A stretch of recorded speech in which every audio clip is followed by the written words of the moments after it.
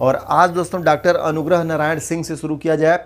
बिहार विभूति जीवन देश की अखंड स्वतंत्रता और नवनिर्माण के लिए इन्होंने अपना पूरा जीवन समर्पित कर दिया। तो डॉक्टर अनुग्रह नारायण सिंह, चलिए भाई डॉक्टर अनुग्रह नारायण सिंह के बारे में कुछ पॉइंट्स नए सिरे से फिर जानने की कोशिश किया जाए। तो डॉक्टर अनुग्रह नारायण सिंह को अगर देखा जाए दोस्तों तो इनका जो संबंध बनेगा, इनका जन्म इनका जन्म औरंगाबाद में हुआ था। कहाँ पर? औरंगाबाद में। औरंगाबाद से इनका संबंध बनता है। यानी बिहार के औरंगाबाद क्षेत्र से ये थे। जैसा कि आप देख पा रहे हैं 18 जून अट्ठारह यानी 18 जून 18 जून 1800 1887 को इनका जन्म हुआ था, इनका जन्म हुआ था। और ये दोस्तों गांधी जी से बहुत ही प्रभावित थे। किससे? गांधी जी से बहुत ही प्रभावित थे। गांधी जी के सहयोगी बने थे ये चंपारण में। यानी चंपारण सत्याग्रह से ही ये गांधी जी के साथ जुड़ गए थे और गांधी जी के सहयोगियों में इनका नाम दर्ज होता है। विशेष तौर से संपूर्ण बिहार में अग्रणी नामों के अंतर्गत इनको सम्मिलित करते हुए यहाँ से लेकर के चलते हैं, जो कि क्या रहते हैं, विशेष रहते हैं। इनको अगर देखा जाए दोस्तों, जब उन्नीस में उन्नीस में श्री कृष्ण सिंह के नेतृत्व में, श्री कृष्ण श्री कृष्ण सिंह, श्री कृष्ण सिंह के नेतृत्व में, के नेतृत्व में क्या बना गया था? नेतृत्व में बिहार सरकार का गठन किया गया था। बिहार सरकार बिहार सरकार का गठन किया गया था। तो ये प्रथम उप मुख्यमंत्री बने थे। प्रथम उप मुख्यमंत्री, प्रथम उप मुख्यमंत्री के तौर पर भी इन्होंने कार्य किया था। तो उन्नीस सौ सैंतीस के विधानसभा में अनुग्रह नारायण सिंह बिहार के पहले उप मुख्यमंत्री बने थे। ये यहाँ से ध्यान रखना, जो कि इनके लिए विशेष रहता है, आपके एग्ज़ाम में बहुत बार पूछा हुआ है, ये ध्यान रखना। इनको दोस्तों बिहार विभूति के नाम से संबोधित किया जाता है, यानी बिहार विभूति, यानी इनके लिए एक नाम, एक शब्द का प्रयोग किया जाता है। जैसे श्री कृष्ण सिंह के लिए आप सब, कौन सा शब्द प्रयोग करते हैं? उनके लिए आप बिहार केसरी शब्द का प्रयोग करते हैं। उसी तरह से अगर देखा जाए तो डॉक्टर अनुग्रह नारायण सिंह के लिए बिहार विभूति का प्रयोग किया जाता है। आपके एग्ज़ाम में बहुत बार पूछा है कि किसको बिहार विभूति कहते हैं।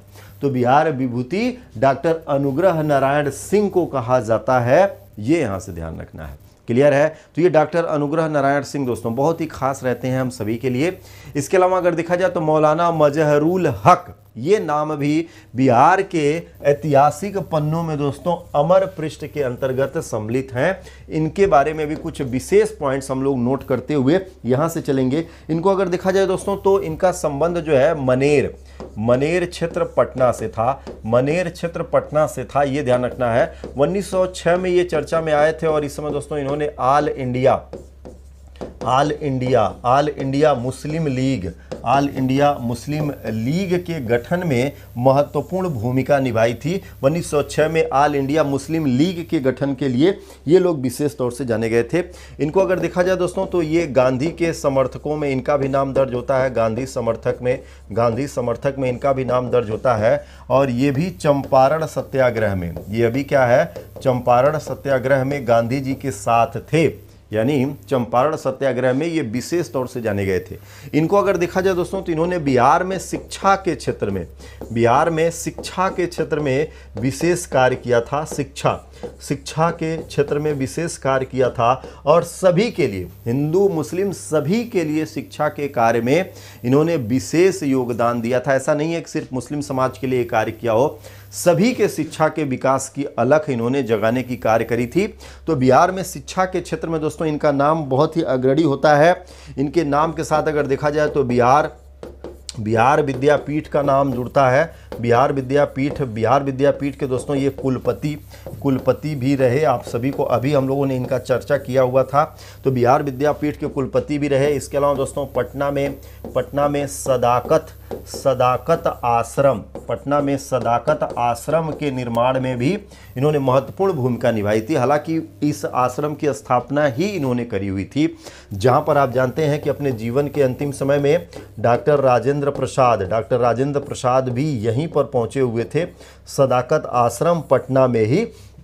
तो मौलाना मजहरुल हक द्वारा ही उसको डेवलप किया गया था। ये ध्यान रखना है। इसके अलावा दोस्तों, गांधी जी ने इनको देशभूषण, गांधी जी ने इनको देशभूषण की उपाधि दे रखी थी।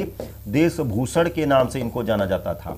यानी ध्यान रखना, अगर आपके एग्ज़ाम में पूछ दे कि बिहार के किस महापुरुष को हम लोग देशभूषण के नाम से जानते हैं तो देशभूषण शब्द मौलाना मजहरुल हक के लिए ही प्रयोग किया जाता है। क्या है? मौलाना मजहरुल हक के लिए प्रयोग किया जाता है और इनको ये उपाधि महात्मा गांधी से मिली थी। किससे मिली थी? महात्मा गांधी से मिली थी ये यहाँ से ध्यान रखना। इसके अलावा दोस्तों, मजहरुल हक को अगर देखा जाए तो ये एक समाचार पत्र भी था, जो बहुत ही महत्वपूर्ण था समाचार पत्र। उसके प्रकाशन से भी जुड़े हुए थे, द मदरलैंड। ध्यान रखना है, द मदरलैंड। आपके एग्ज़ाम में बहुत बार पूछता है कि द मदरलैंड समाचार पत्र का संपादकत्व तो किसने किया? तो मौलाना मजहरुल हक ने किया था। इतना पॉइंट्स आपको यहाँ से ध्यान रखना है, जो इनके बारे में आपके एग्ज़ाम में लगातार पूछता रहता है। तो ये है दोस्तों, देशभूषण, मौलाना मजहरुल हक, जो कि बिहार में अनुकरणीय हैं और ये दोस्तों राष्ट्रीय स्तर पर इनका नाम चर्चा में रहता है, जो अपने बिहार के लिए एक गौरव की बात है। हम सभी को गौरवान्वित करने का एक क्षण ये देते हैं और इनसे दोस्तों बहुत ढेर सारी प्रेरणाएँ लेने की आवश्यकता है कि कैसे सभी को एक साथ लेकर के समरसता, सामंजस्य बैठा करके जीवन में आगे बढ़ा जा सकता है। ये सिद्ध करके दिखाया था मौलाना मजहरुल हक, यूँ ही इनको देशभूषण नहीं कहा जाता है। तो ये नाम ध्यान रखना। हाँ the mother land the mother land ये समाचार पत्र है, इससे भी इनका नाम जुड़ता है, ध्यान रखेंगे। हो जाएगा? तो दोस्तों, मौलाना मजहरुल हक, ये यहाँ से करेंगे। स्क्रीनशॉट सभी का रखते हुए चलेंगे, क्योंकि दोस्तों, ये पॉइंट सब आप सबके लिए क्या है? खास रहेगा। क्लियर?